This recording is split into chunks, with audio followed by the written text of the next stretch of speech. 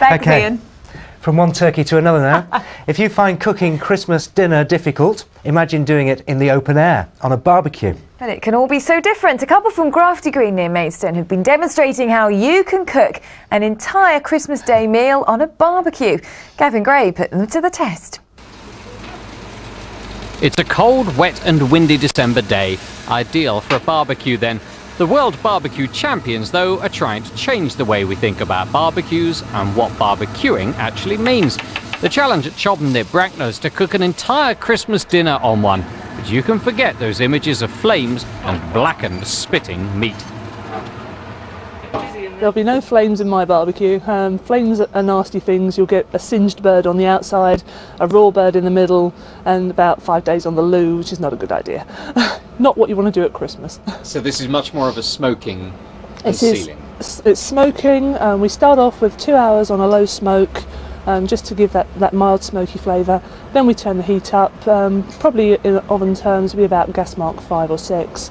Um, we finish cooking the bird on that. The 18 pound turkey requires about five hours cooking time. A little salt, pepper and butter covered by a muslin cloth on the top, a cut apple inside. The vegetables do need parboiling, but are then smoked and roasted for between an hour and an hour and a half. The barbecue slowly burns wood pellets taken via a conveyor belt from the source. It's environmentally friendly using an electric filament just to ignite them and is ready to cook in just four minutes. The fat drains away and therefore it's a very clean cook and very healthy. The um, emissions um, from this are carbon neutral, so it um, ties in with the Kyoto agreements and um, is obviously something we want to move towards. And last but not least, it is convenient as gas or electricity. How long it take? For the last hour's cooking, we invited along two instructors from Defence Food Services Corps. So how long does it take to actually get it up to temperature to start cooking? If you put it on to high first, They're experts in cooking away from a kitchen and seemed impressed at the £1,250 American made machine. But I'm an expert at eating inside, and so after five hours, everything was ready, and it was time just to see how good those barbecue champions are. The answer is very good. This is absolutely fantastic. The turkey's very nice, smoked flavour, fantastic. I'd recommend it to anyone. Is it suitable for mass catering or individuals or? Um, the barbecue that they have outside there, we could uh, probably use in the field army. It it tends to get dry when you cook it in the oven because let people cook it for a long time, a long period of time. But yeah, that's very nice. You, you can taste the smoky flavour. Yeah, very very juicy.